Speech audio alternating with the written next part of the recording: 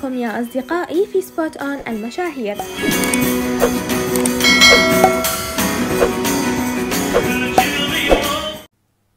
هذه الفيديوهات حديثة تم تصويرها اليوم وليلة أمس من كواليس تصوير الحلقة السابعة والستون من مسلسل طائر الرفراف.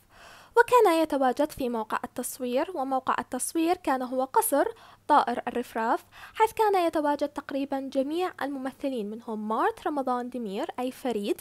وأيضا كان موجود طارق أميرتكين المشهور بتارو الذي يقوم بدور كايا. أيضا كانت متواجدة الممثلة جوزدا كانسو التي تقوم بدور جولجون وكذلك كان يتواجد الفنان إمرا أرتوغ الذي يقوم بدور أورهان وتواجد أيضا الفنانة أوزنور سارتشيلار التي تقوم بدور أسومان.